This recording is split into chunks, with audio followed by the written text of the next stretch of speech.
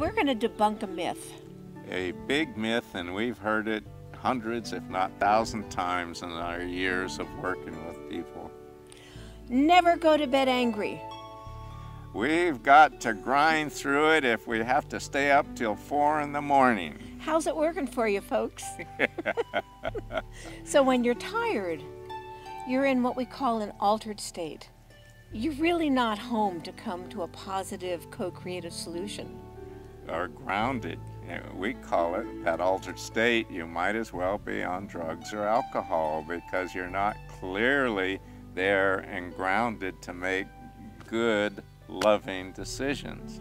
So, what we say is it's often best to go to bed angry, sleep on it, wake up, and in the morning, when you're refreshed and you're home and you're calm and you've had a chance to think about what happened and what your part is in it, which is where the gold is, then have the discussion. And make that date to, to have that discussion. Uh, one of the reasons we've heard over the years that people want to get it done now is because they've had the experience of having the issue swept under the rug and never getting discussed. So out of, the, of that distrust of we'll handle it later, they want to be intense and get it done now no matter what. We'll burst through. So yeah, it's real important to make that date. We're going to handle it in the morning.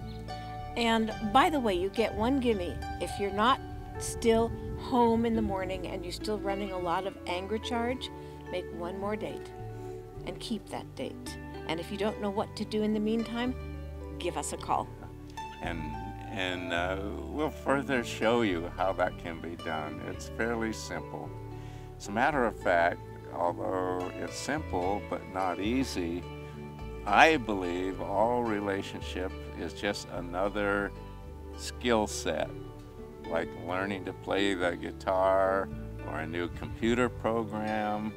Uh, and if we want it, we're passionate about it, we can learn these new skills to replace the ones that have been with us for so many years. And that's our forte uh, teaching and educating you, the world, new skills that will uh, help your relationship flourish.